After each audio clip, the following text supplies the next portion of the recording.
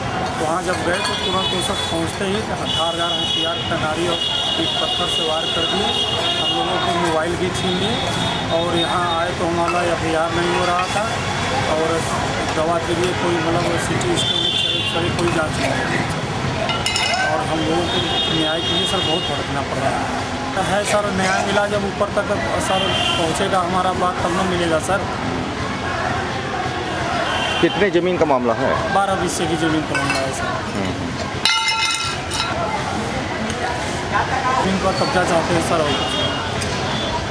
इसलिए कह रहे हैं क्योंकि वो लोग भी उसी जगह बारह बीसा ज़मीन लिखा है।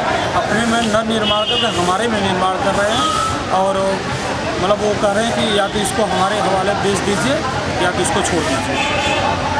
हमारे छोटे भाई हैं, बड़े भाई हैं।